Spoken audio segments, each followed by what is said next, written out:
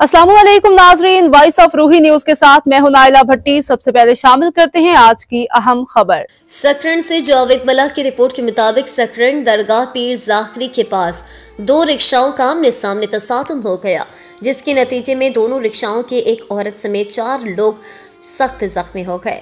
वाकई की इतला मिलने पर हमदर्द फ्री एंबुलेंस सर्विस की रेस्क्यू टीम हादसा वाली जगह पर पहुंचकर जख्मियों को ताल्लुका हॉस्पिटल सकरण पहुँचाया।